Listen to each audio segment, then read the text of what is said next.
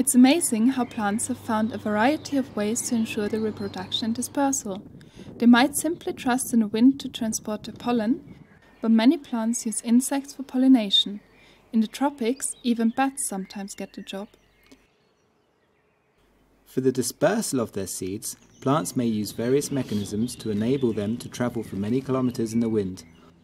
Or they use tasty fruits to ensure that animals will distribute them. Other plants catapult their seeds through the air or make them float on water. And after arriving at a good site, the next fascinating process starts. The dry seed takes up lots of water and the seed coat cracks open. Next, the seedling pushes its root in the ground and unfolds the seed leaves, followed by its first real leaves.